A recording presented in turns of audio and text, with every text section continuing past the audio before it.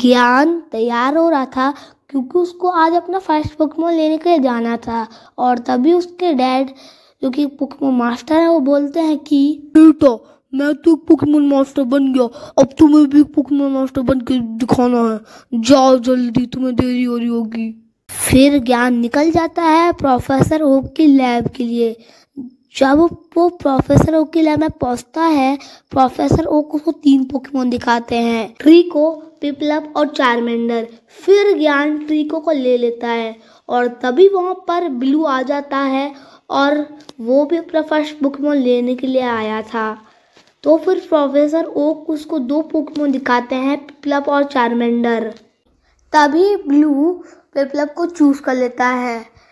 तभी ज्ञान बोलता है कि ये तो बड़ा ही क्यूट पोकेमोन है और साथ ही साथ स्ट्रांग भी।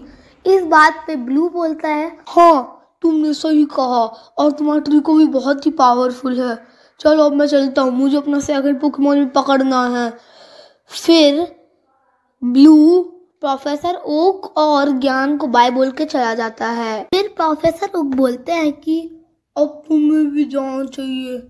जल्दी जाओ, अपना सेकंड पोकेमोन पकड़ लो।